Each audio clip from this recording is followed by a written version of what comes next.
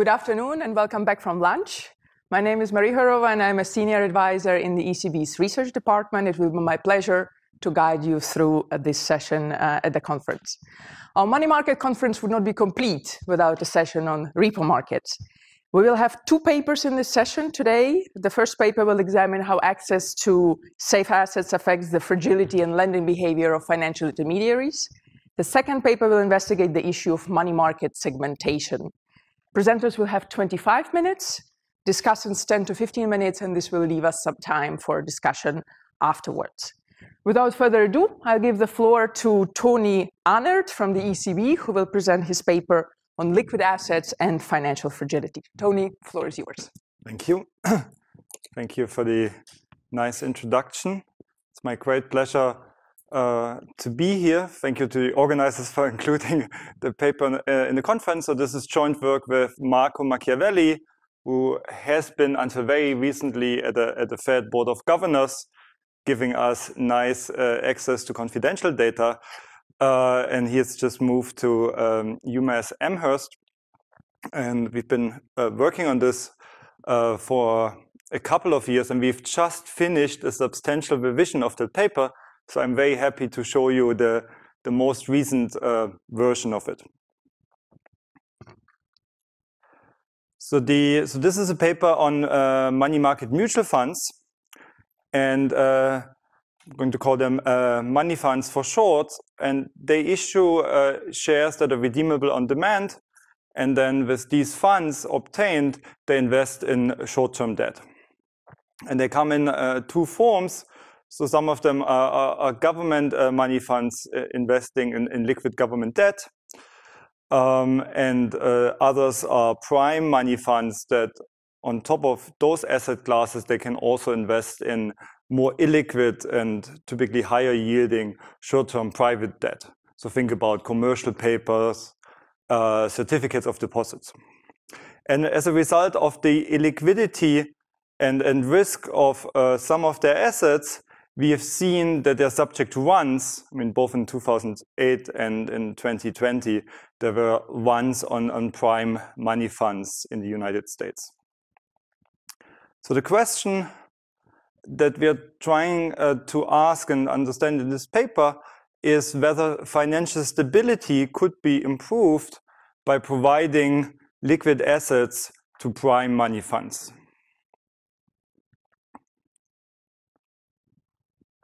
And thinking about uh, this issue, uh, pro publicly providing liquid assets, uh, liquid and safe assets, could affect financial stability in at least two ways. So first, we have the relationship between the creditors of the money fund and the money fund itself. So if the money fund has access to liquid assets, it does not need uh, to engage in costly liquidation to meet uh, redemptions, to ac accommodate redemptions. So that would uh, could reduce the run risk of the money fund. If we now move to the next layer, to kind of the real effect uh, of this, uh, money funds fund the real economy, uh, corporate firms. So as money funds become um, uh, safer, less subject to run risk, they can also engage uh, in more lending to the real economy. That is even in, in terms of stress, there could be continued or even improved lending to the real economy, improving financial stability via this second channel. And the uh, ambition of this paper is to study exactly uh, these issues, both theoretically and empirically. So let me, let me give you the results of the paper uh, in one slide. So on uh, the theory side, we are constructing a parsimonious global game model of ones on money market mutual funds.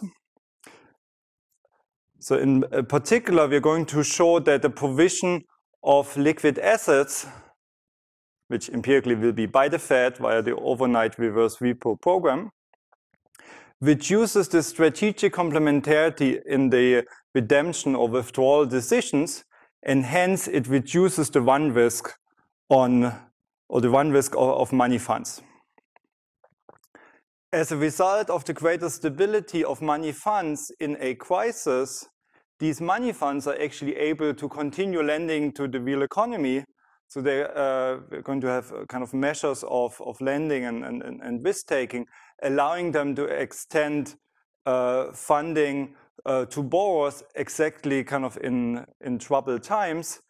Um, and uh, this, uh, this lending will be in, in terms of illiquid assets. So there will be kind of liquidity and, and maturity transformation.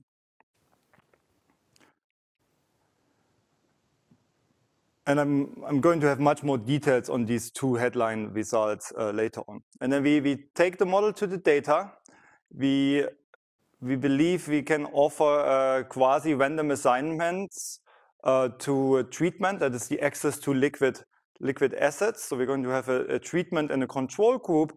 So some money funds have access to an extremely liquid and safe asset, which is the overnight reverse uh, repo facility of the Fed. Um, and we're going to have uh, treatment and control groups. And then there will be an exogenous stress event uh, that triggers outflows from uh, money funds, which is the debt limit episode in 2013. So the, the United States is a peculiar uh, country in the specific sense that once you approve the budget, you still have to uh, change the debt limit. So there's always this additional uh, parliamentary uh, process that is required. So even if there's uh, a clear majority for any measure in the budget, you still have the problem that you might run up against uh, the debt limit. And unless the debt limit is uh, increased, there could be a government shutdown, there might even be a technical default on, uh, on debt. So using the combination of the uh, staggered adoption of the overnight uh, repo facility by money funds and this arguably exogenous uh, stress event, we provide evidence that the public provision of safe assets uh, indeed, consistent with the model, uh, reduces financial fragility, both at the level of the money funds and at the level of the ultimate borrower.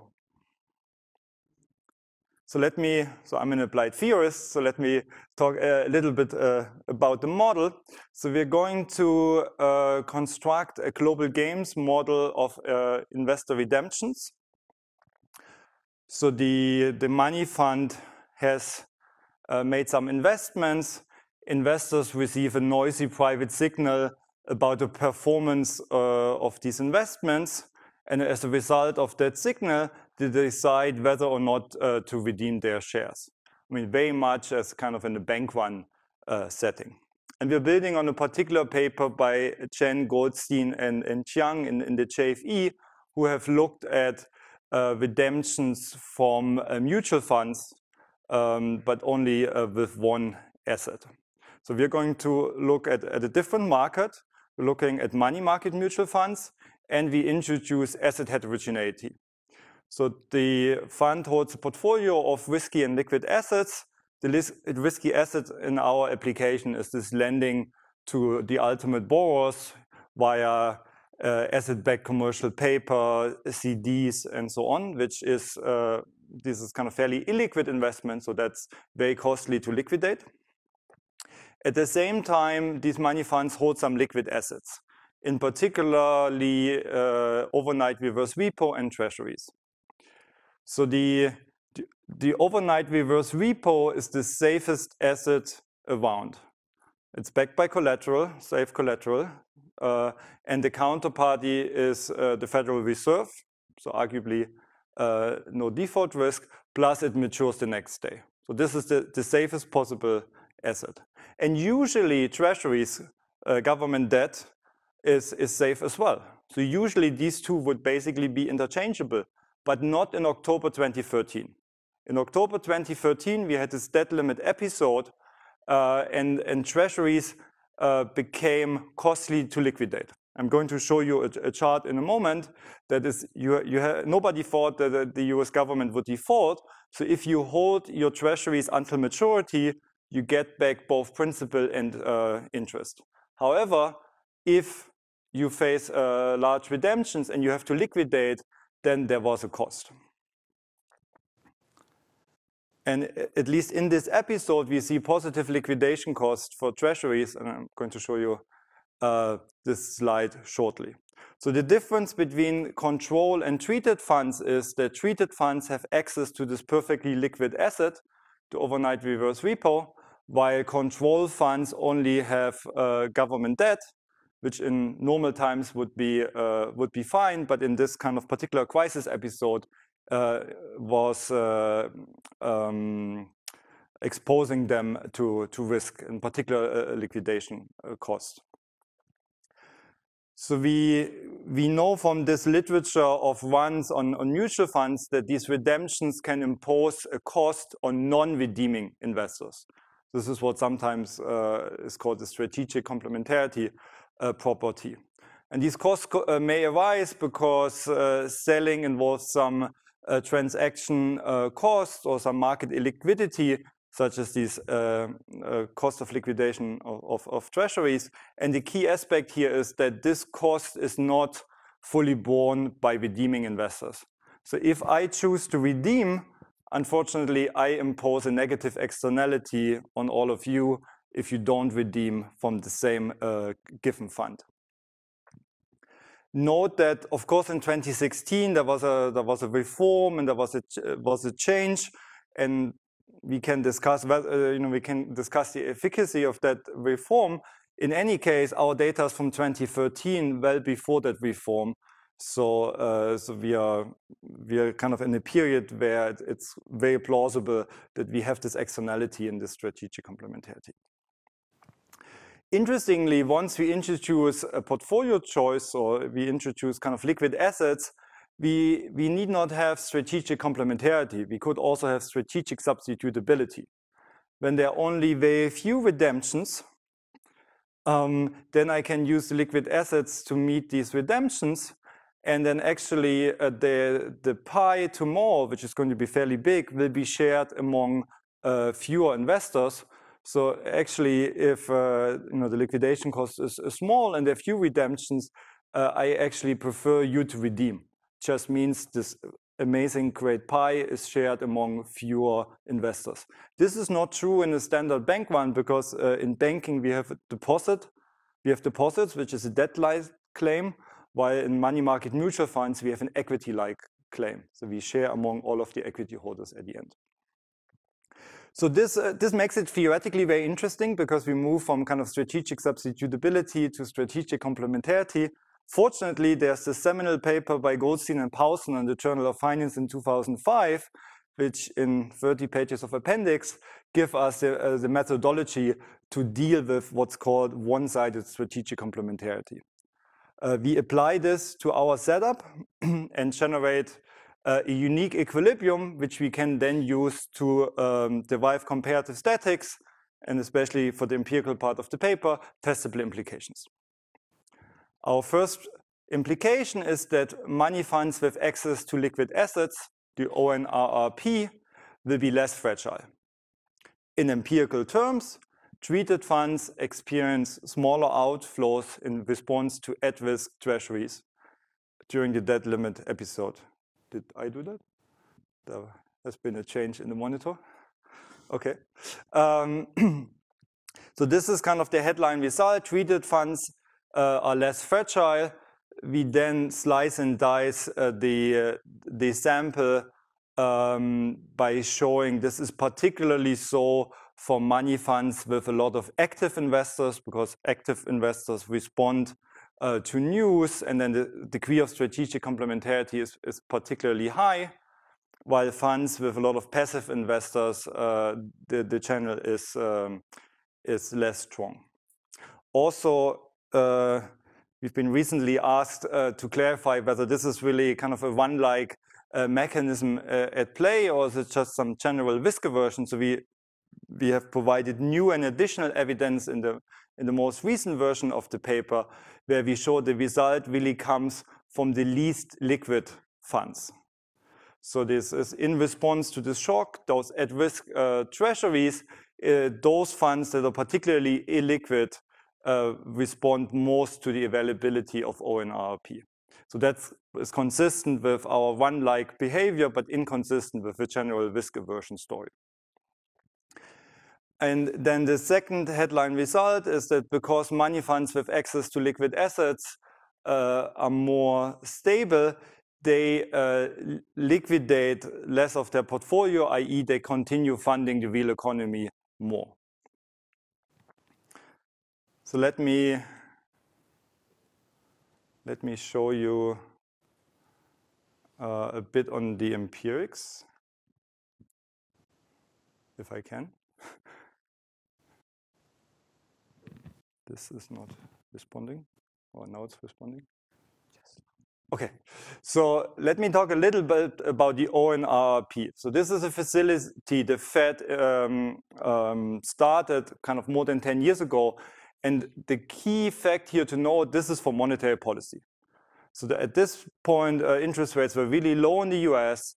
They knew they would start increasing interest rates over time, and they wanted to have a firm grip on um, on um, on kind of uh, the interest rate and on kind of monetary policy transmission. So they introduced this additional tool. So this was purely for monetary policy reasons. They, if you also look at the the, um, the statements by the FOMC, there was no talk about financial stability considerations. So the uh, eligibility meant that you needed to have assets under management of at least $5 billion. And in terms of identification, uh, what's really helpful for us is that in September 2012, you had to apply for this program. But then you could only use it in September 2013. And we're going to look at funds that in September 2013, so one year after the application deadline, they look virtually identical. So in terms of, of, of observables, they're, they're very similar. However, the treated funds did not miss the deadline. They actually applied in September 2012, and they were uh, definitely had access to the facility.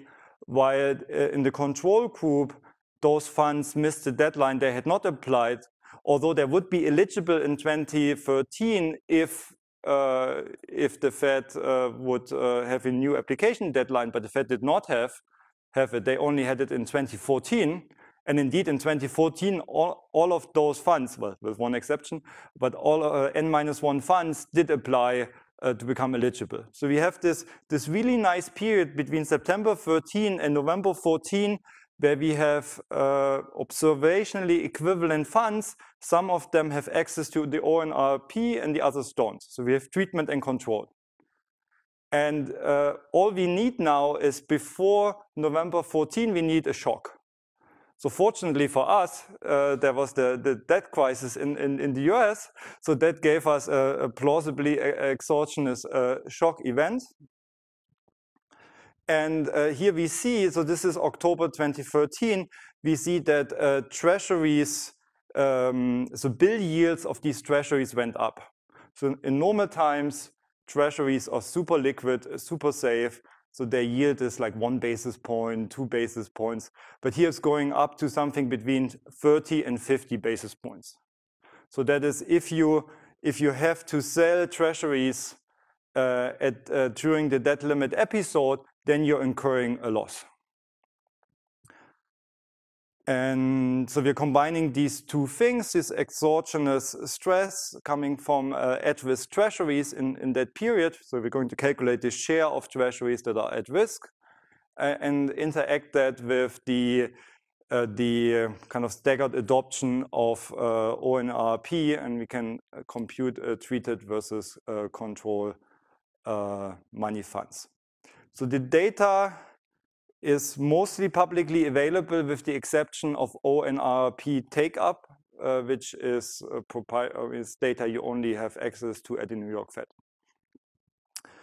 And this is our first uh, main question. We want to look at flows, which is the change of assets under management, responding to a bunch of controls the uh, whether we are in the in the crisis period, which is the debt limit episode, and the exposure to uh, um, at-risk treasuries. So the share of of treasuries that are at risk, that are in this period um, before the debt limit episode was resolved.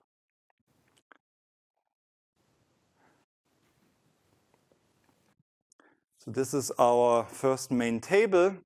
So if we look at sample three, for example, we see that uh, in, in, the, uh, in the first column, crisis times at risk leads to a significant coefficient that is negative. So if a money fund has a larger share of its treasuries uh, in terms of at-risk treasuries, uh, then there will be, will be outflows. And then the second column is the treatment versus control effect, where we compare uh, money funds of similar characteristics, just the treated funds had access to the ONRP, the, the completely liquid and safe asset uh, that is out there, and that fully undoes the effect of, of the outflow. So we see the magnitude of, of basically one for one. So the, having access to liquid assets stabilizes money funds in crisis periods. So that's our first main financial stability implication. And we're going to have two more, I mean, many more, but uh, uh, two more tables in the paper where we show this is mostly driven uh, by money funds with a fairly large share of active investors and it's mostly driven by fairly illiquid uh, money funds in the sense uh, that the, um, the average time to maturity is fairly long. So they cannot just sit it out. If, if my assets mature in a day or two, uh, then that's fine. I just wait for a day or two and then um, I'm using the maturing funds uh, for redemption. Consistent with this uh, bank run or redemption uh, type uh, mechanism, as our model suggests. So we've talked about the first leg. The first leg was the investors in, uh, in money funds and a potential one on the money funds. And now we want to talk about kind of the, the real effects uh, side, where we see how this affects the lending of, uh, of money funds to the real economy. So we are constructing this measure called prime risk. So this is lending to the, uh, to the real economy kind of anything that is a bit risky. So this could be commercial paper at tier two um, and um, foreign bank obligations, kind of anything that is not uh, super safe. Uh, and then again, if you look at sample three, for example, we again first have the effect that during the debt limit period, during the crisis period, having more exposure to at-risk uh, treasuries reduces your lending to the real economy. So there are, there are actually many, many nice stars there. So that's a fairly strong uh, and economically large effect. But then again, in blue, if you're a treated money fund, if you have access to uh, the uh, overnight reverse repo, you have access to the liquid asset, then this basically fully undoes the negative effect, this insulates you uh, from the shock. So our, our conclusion is that uh, with a publicly provided um, liquid asset, uh, that improves the stability of the money fund and allows it to uh, continue lending uh, to the real economy, even in terms of crisis.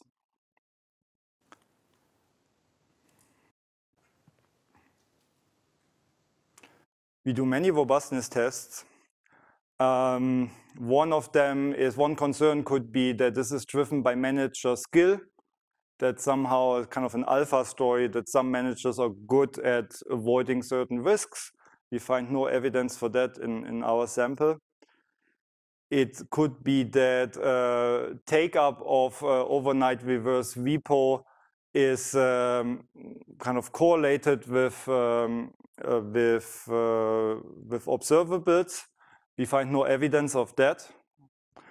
Um, we look at the, at the possibility that overnight reverse repo actually doesn't help you at all. So it's not about uh, that you're not incurring liquidation costs. It's just about if you have access to that, you kind of get a stamp of approval, what's sometimes called the imprimatur effect, but we find no evidence of that. Um, there are also some concerns where we find evidence in the opposite direction, where actually, if anything, our results uh, get stronger. And then uh, in terms of, uh, I, I, should also say that we have fairly few funds. So in terms of constructing treatment and control group, we want to be very careful that they look very similar. So uh, the consequence of that is we're actually down to 20 funds. So the, you, you see from those confidence intervals, so they're, they're, they're just positive, but they are, they are fairly wide. No? So the, uh, we, we do find um, that the, you know, the pre-existing, there are no pre-existing trends, but significant trends afterwards, but the confidence bands are, are fairly wide. And we do a few other tests uh, in the paper. But all of them, uh, so all of these additional channels are not significant, suggesting that we can conclude that the uh, public provision of liquid assets, in this particular case uh, by the Federal Reserve in, in 2013 via the overnight reverse repo program, um, delivers two separate financial stability benefits. The first benefit is the relationship between the investors and money funds so this is the, the funding side of money funds, making money funds less fragile. And the second benefit is that this lower fragility allows money funds to keep lending, in, in some setups even increase their lending uh, to the real economy, even in, uh, in times of stress. And you know, some of that is uh, second tier asset-backed commercial paper, these are foreign assets. So this is really, there's kind of some risk-taking involved. This is really um, uh, not just investing in, in, in, safe things.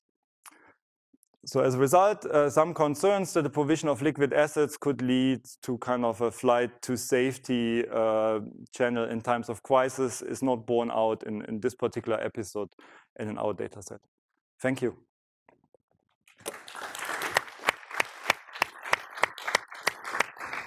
Thank you very much, Toni, for a very clear presentation. The discussant of the paper is Puriya Abbassi, who is joining us virtually. Puriya, can you, can you hear us? Yes. Excellent. The slides are being uploaded. Now we see them. If you make them full screen. Excellent. The floor is yours. You have 10, 10 to 15 minutes. Thank you so much, Marie. Thank you, Toni, and uh, good day, everyone. Uh, I'd like to thank the organizers for inviting me to discuss this very important and interesting paper. Uh, needless to say that the usual disclaimer applies. um, well, liquid assets are crucial for many reasons, right? Um, on the one hand, they, at the investor level, uh, they very, very crucial for hedging diversification motives. Uh, they actually serve um, as pricing instruments, benchmarking tools. Uh, they play a pivotal role in regulation and supervision, but also uh, for the transmission of monetary policy. Uh, and by their effects on um, uh, supply and demand and their interplay, they also can actually shape uh, financial market real economic real um, out, outcome there, and thereby also affect financial. Um, this is one of the reasons, or maybe the key reasons, um, why the provision of safe assets to the financial system has been a core central bank function uh, during normal times, but especially also during financial crisis, as they um, help providing an impetus for sustainable recovery. Now, liquidity provision already prior to the financial crisis of 09 uh, and 08 uh, has been um, provided through various facilities, uh, the lender of last resort facility, the interest rate on excess reserves, open market operations, but even more so uh, in the aftermath of the financial crisis. So a challenging question could be, why is this topic then on the agenda today, right? And it is on the agenda because the provision of liquid assets uh, runs through the balance sheets of depository institutions, right, which are uh, in the um, in the pole position to provide it within the banking sector among financial firms, but also to the real economy. Also, over the last decade, there's been an increasing trend in, uh, in, in participation of non-bank entities with increased footprints in financial markets. Also, it's been shown that frictions may actually arise even in the context of ample liquidity when there is heterogeneous bargaining power or access um, to central bank facilities slash the lack thereof. Becky Clay showed this for the US, Falk and I did this for the euro area. Now, Toni and Marco actually focus on the latter two points, right? So they look into the, um, the increased participation of non-bank entities and try to understand um, what an access to central bank facilities can actually do in overcoming short-term fluctuations. And they study this in the context of the Federal Reserve's overnight reserve uh, purchase repurchase program, which um, started in 2013. And it basically grants money market funds access to an altered version of the IOER facility or the deposit facility in the euro area. And the idea behind this is money market funds lend out funds overnight to the Fed, receive treasury securities as collateral in the form of tri-party repo, and receive an overnight uh, RRP rate. And again, this is very similar to the concept that we all know from the IOER facility for depository institutions. And Toni and Marco focus on primary MMFs simply because those MMFs have uh, more holdings invested in non-governmental securities. And they try to uh, find out whether there is a differential effect in these um, in the way these MMFs perform with and without access to this facility.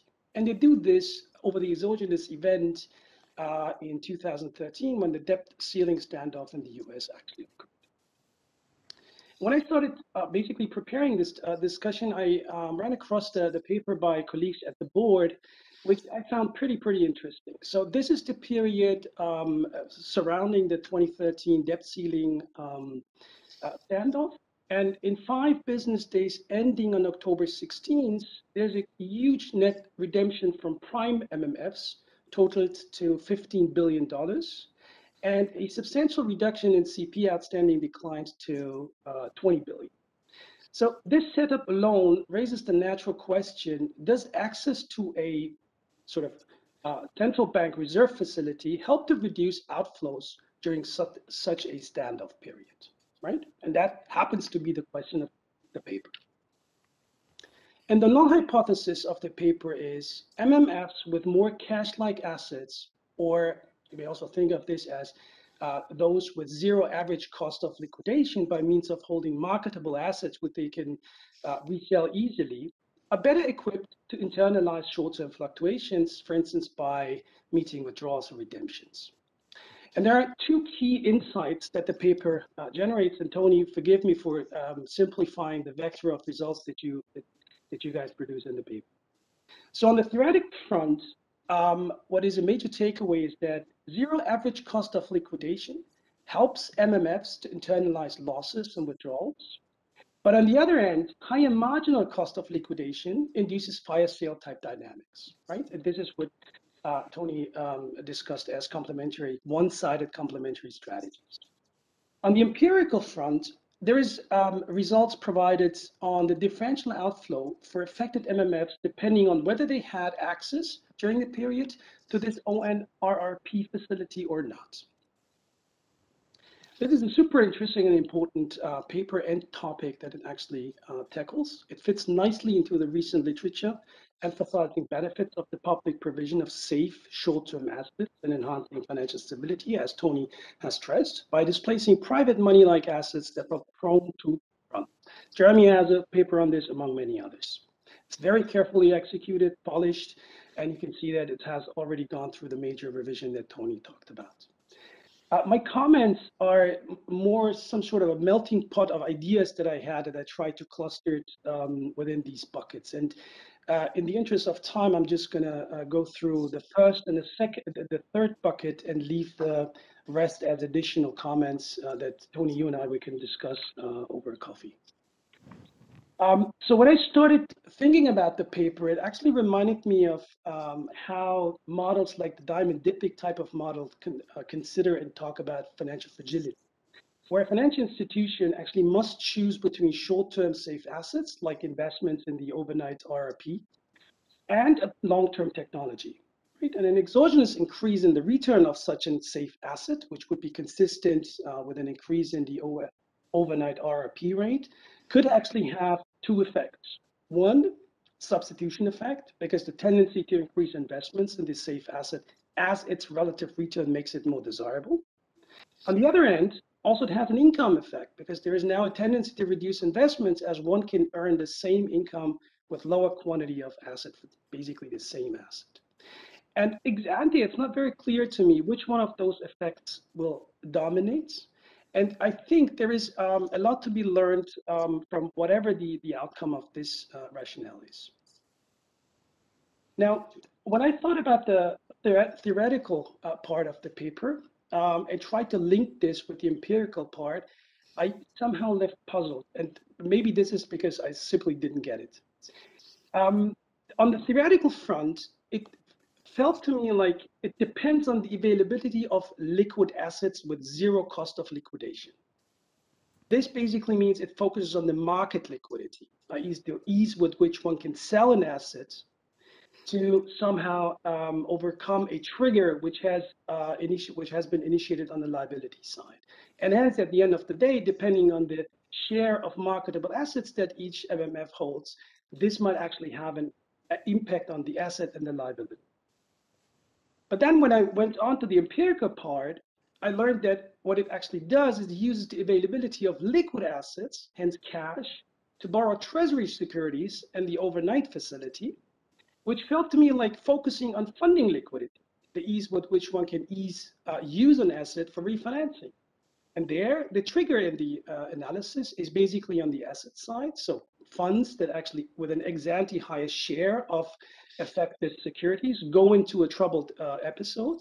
And somehow uh, the question becomes how they actually manage to keep the or maintain the same level of assets under management. This felt to me like we're talking about this swap on the asset side, right? And I'm not even sure you need the literature to motivate for the dynamic that you're interested in. This is at least my takeaway from this, because the liquidity spiral basically just reminded me of this, or even the uh, fixed, the patient fixed income investor uh, rationale that Hansen and I actually brought forward, among many others, right? Okay, uh, so this is on the, I have obviously also some uh, specific comments, which as I said, um, uh, I put in the additional uh, comment section at the end of the slides. Now, when I basically just jump to the last part, which uh, is what can we learn? Because Toni, you um, stressed the fact that it actually helps us to talk about and think about financial stability. What is the big picture lesson that we can take from this, right? Um, so ultimately, can you say something on the aggregate effects? Uh, the commercial papers, the results that we saw, at least for the control MMFs, um, raise the natural question, can borrowers from control MMFs compensate the reduction that you show across other entities intermediaries markets. And what happens to the aggregate level of short-term funding? Because as you correctly said, um, we're talking about 12 funds here, 12 versus 8 funds. And I understand uh, there's a trade-off uh, by you know having a larger sample versus identification, as you mentioned. But it would be neat to understand what does it tell us about the aggregates. Plus, the outflows that you that you see and show for MMFs for the control uh, group is this associated with inflows out elsewhere? Again, feeding into the question, what is the effect on the aggregate? Also, um, the paper seems to have a positive connotation on uh, lending to the real economy, um, which is also an emphasis on private money like asset creation. And my question is, is more lending always better? This, I think, goes to the question uh, of capital allocation slash capital misallocation and where is it allocated and so on and so forth. At the end of the day, even if we take everything at face value, the question becomes uh, the graceful, what about the mechanics of the graceful exit, right? Because the facility has been introduced as a temporary facility. And the question becomes, once there is a phasing out to be planned, what are potential symmetric slash asymmetric effects, which uh, in the literature has already been raised last comments. Um, I can see why there is a beneficial effect um, that you highlight in the paper. But here's another thought.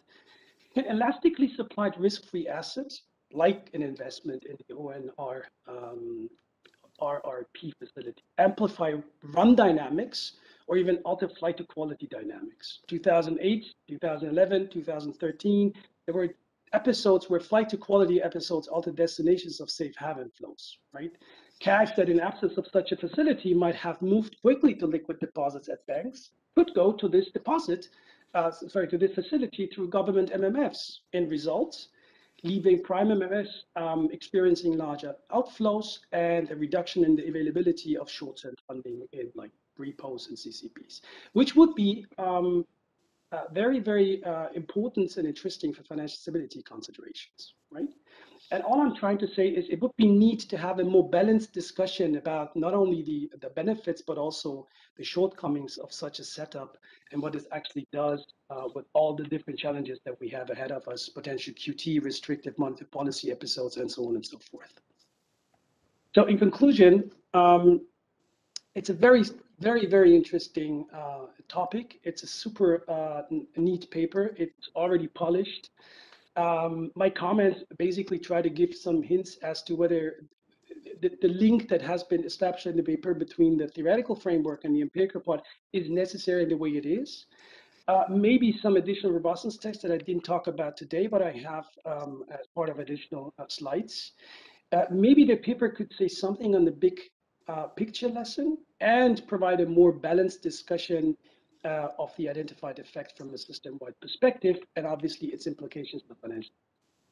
Thank you so much.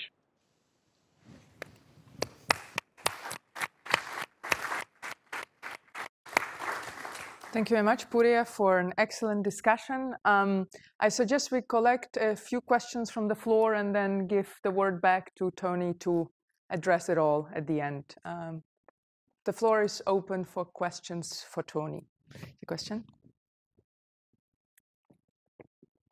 Yes, uh, thank you. A very excellent uh, study and uh, very nice to have this empirical evidence in, uh, in the US. My question is, uh, would you uh, extend this um, research also to the European situation? Because we have money market funds here all, also, and I would be interested whether this would help the European situation as well.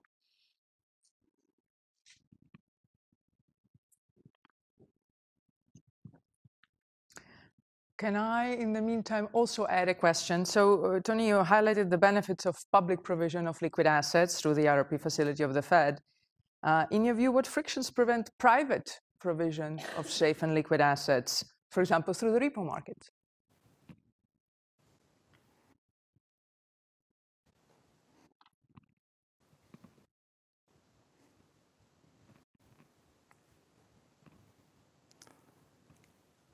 Okay. Uh, let me let me try to uh, answer some of these. Thank you, thank you very much, Puriya, for an excellent discussion. Awesome, uh, great job. So I'll definitely take you up on uh, on the coffee uh, and wanna wanna learn more about the additional uh, robustness checks that that that we can do. and also, it seems that we overlooked some very important contributions in, in the literature, and we're very happy to to cite them in, in, in the new version. Yeah. Um, it's uh, it's I like how you think about the uh, theoretical model and you know talking about how changes in uh, in the return on liquid slash safe assets could have income and, and, and substitution effects. There is so in the context of a bank run model, there's, uh, uh, there's actually a theoretical analysis by, by Philipp König uh, at, the, at, the, Bundesbank doing, doing exactly this, and, and as you suggest, finding an ambiguous relationship. What, what we have done here is actually we, we took uh, the, the short and sweet way out by assuming that these liquidation costs only happen when you have to liquidate. So there's this kind of difference in the benefit without the cost. So in um, in the environment you suggested, there's in, uh, there's you know an ex ante portfolio choice where I hold a low yielding asset that is very liquid and helps me meet redemptions. But there's also risky and high yielding assets, and then I have to think about benefits and costs. And in order to circumvent this uh, interesting but uh, complicated analysis, we, we make the assumption that uh, there's just this, uh, this liquidation cost. So we are so we, we fully agree with this concern, uh, which is why we try to work uh, around it.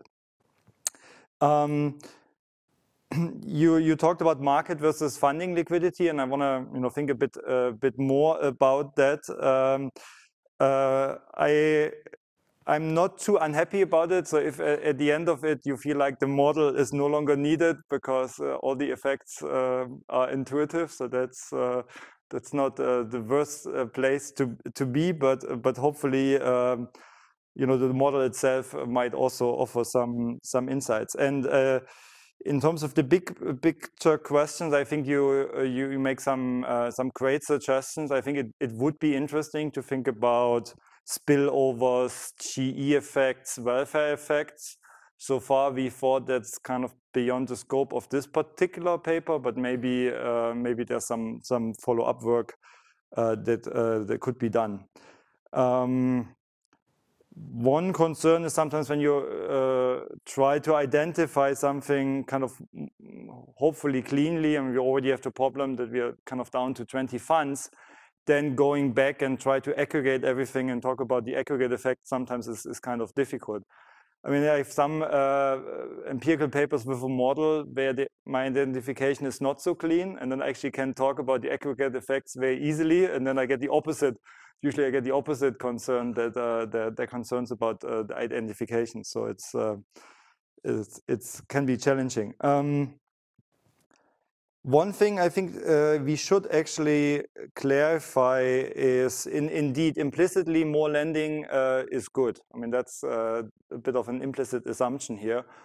Um, kind of positive NPV um, uh, project with some risk. Uh, maybe we should uh, we should at least qualify a bit because we indeed don't talk at all about potential costs of lending. Yeah? Um, so we we just happened to there was a question about US versus uh, Europe. So we just happened to uh, have access to the European data, and we we found this lucky coincidence about uh, staggered adoption together with a crisis, which seemed to have worked uh, for the empirics. But I'm I'm definitely you know it's very important that we uh, and some people in, in the room have done right uh, that we look at the European market as well and and um, understand these things. I mean, what I like about the project, the question itself, you know, the public provision of liquidity and what are the financial stability implications. In principle, we can use any country and, and any jurisdiction uh, to study that. You know, I mean, sometimes US data is actually not so good. I know some of the colleagues at the Bank of Canada sometimes benefit from from high quality microdata. So, and then you can, wherever good data quality is available, we can use that to try to make progress uh, for these for these questions. Um, we have not, uh, one of the other things that we have not done and maybe uh, uh, should do is think a bit more about the private, uh, uh the private provision. I, I, guess it could be that uh, I mean usual information frictions might um, might uh, might kind of prevent a, a purely private uh, uh arrangement to work, but it's probably something we have to think a bit more uh, going forward. Thank you very much. Thank you very much, Toni and Puriya. Thank you.